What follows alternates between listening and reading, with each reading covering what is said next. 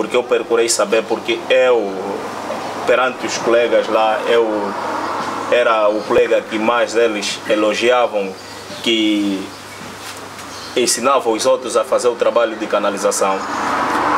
Então foi uma surpresa enorme para mim. Mas durante esses dias, eh, recebem só diz que devido à situação econômica que o país está a viver. Então o que tu estás a querer dizer é como não houve critérios específicos na seleção, por um lado, há uma falha no, no, no despedimento, porque não houve antecedência, não houve esclarecimento, eh, e também por não ter ficado claro, claro, os argumentos, pode haver alguém que se aproveita disso para pôr fora quem não quer, quem Sim. não gosta, para pôr dentro quem lhe apetece. É isso? Então Sim. não há um, uma rigorosidade nos critérios. Sim porque não só, é, nós trabalhamos lá com, no princípio, começamos somente é, quatro trabalhadores no município do Balão e eu, eu fui o primeiro, eu juntamente o Bernabé Lhoco, um, um jovem que está na Bela Vista, fomos o primeiro a estar no município do Balão. Depois a seguir vem ele, juntamente o Gabi, um cabindiano. Yeah. O que me, me deixa triste é que as pessoas que nos encontraram lá, que depois das coisas já estarem crescidas, estão lá a trabalhar e nós que estamos lá desde a data de 2011 para cá, saímos todos. E, e nos dá a entender que aquilo está parecendo algo de tribalismo, porque dá a entender isso. Porque o trabalho que nós fizemos, muitos deles que entraram agora não dominam. Então isso é que nos faz recorrer se encontramos uma maneira de, de, de resolver o problema não é? que nós estamos a, a passar, se ou a empresa não consegue nos reenquadrar e nos dá uma indemnização que nós conseguimos, com essa indemnização, correr a, outra, a, a, outros, a outros locais de serviço, ou não sabemos como é que fica. Desculpa, só para reação mais um bocado. Até que, até que a empresa, neste documento que nós recebemos de, de rescisão do, do, do, do, último dia, é que ele diz que vem nos compensar. Agora, o nosso maior, o nosso, a nossa maior preocupação é que ele não especifica como e quando? Mas o vosso interesse é ser compensado ou voltar ao trabalho? Ah, não, sim, não, Vocês acham que uma questão é, uh, se for injusto o despedimento, mas se derem uma compensação, é isso que vocês pretendem ou vocês pretendiam não ser despedidos? É, nós, nós pretendemos não ser despedidos, não ser despedidos. continuar a trabalhar. Porque nessa fase nós temos famílias, nós temos família, nessa fase que o país está, está, está uma vez que diz que uh, o país está numa situação difícil economicamente e nós estando fora do trabalho, vamos estar mais difícil. Não vamos ter como suportar a família que nós temos. Por isso é que nós é, não estamos contentes o que a empresa fez, no despedir. Os que vocês deram no sentido de reclamar ou de estar informado ou de protestar, o que é que vocês deram, fizeram com isso? É, depois de recebermos a carta, tivemos que trabalhar, porque eles diziam que nós não, não, não poderíamos abandonar o local de serviço enquanto não chega o dia que eles deram, que eles avisaram dia 11 e dia 18, que, são, que dá, totaliza sete dias, até sete dias que nós não íamos aparecer ao posto de serviço. Então, só como o município é muito distante do município onde nós vivemos, não é? Então só deu para recorrer depois de nós receber a, a carta que diz que já nós não podemos aparecer no, nos nossos postos de serviço. Então, quando nós recebemos essa carta, eh, veio lá logo a preocupação, que na verdade o pré-aviso dizia. Chegamos aqui, procuramos saber a organização, o Munga, eh, se pode nos ajudar concernente o, o assunto do despedimento que a empresa tomou para com os seus funcionários. Então é neste momento que estamos aqui a procurar saber da, da, da causa que nós metemos ao Munga. Você, mas vocês são, então pertencem a um sindicato, vocês estão sindicalizados. Sim. Uh, recorreram ao sindicato para, para, em relação ao assunto ou não? Se sim, porquê? Qual que aconteceu? Se não, porquê?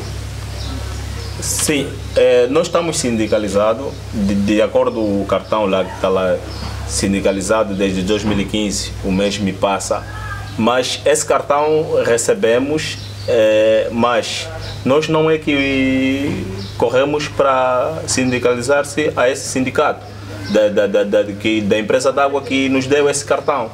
Não, nós simplesmente recebemos esse cartão e, e a partir daquela data ou antes já daquela data, nós éramos descontados ao sindicato, mas nós só, só sabíamos que éramos sindicalizados, mas nós não é procuramos ser sindicalizados por aquela associação ou organização. Então vocês não recorreram ao sindicato? Não, nunca. Porque não, Até que não recorremos ao sindicato porque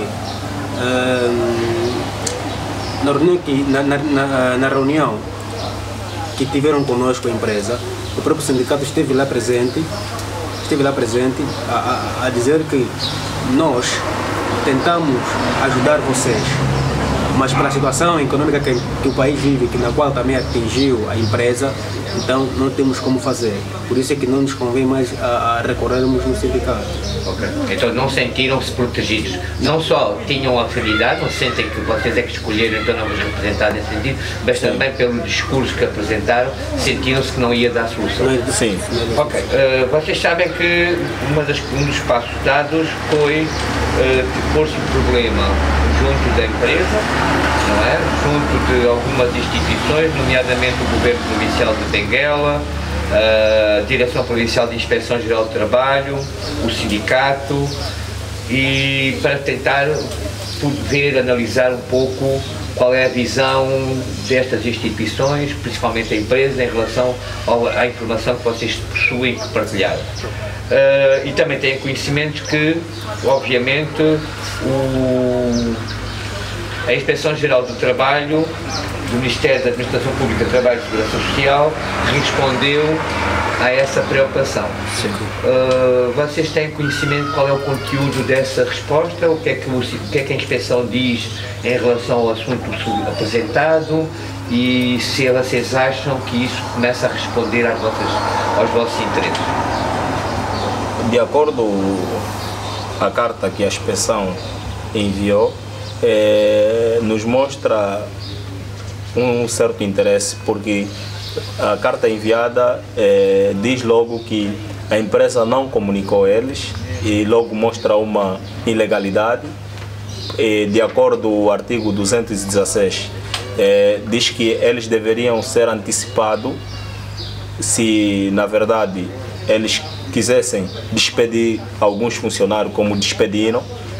Então, estamos desconfortados, de maneira que nós estamos sempre a recorrer, porque ainda temos mais uma prova que está tudo a correr na ilegalidade.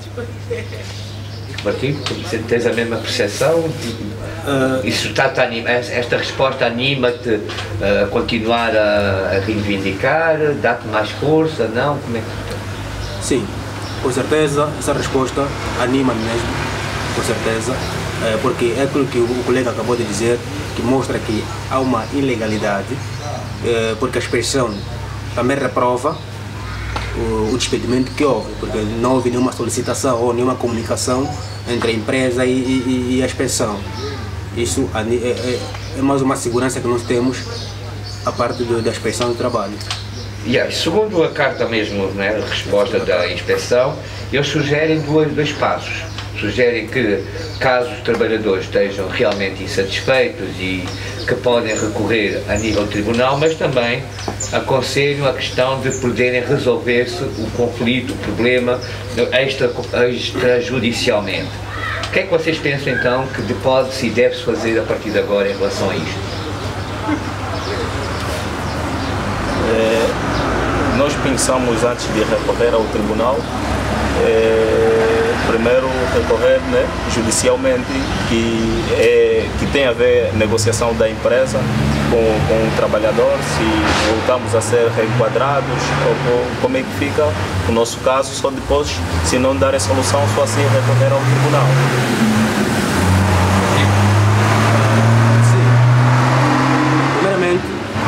Não, não, não podemos diretamente recorrer ao tribunal porque precisamos de enquadramento, então vamos, eh, pedimos com que tenhamos uma, uma reunião, ou irmos lá na empresa, né, eh, entrar em negociação, dependente, dependentemente da resposta que a empresa tiver a nos dar, se, se, se, se houver reintegração, com certeza nós estamos aqui prontos para trabalhar, eh, para isso nós estamos e queremos mesmo isso, nós estamos aqui dispostos. E se não houver esse, esse acordo, eh, então vamos recorrer a outros órgãos.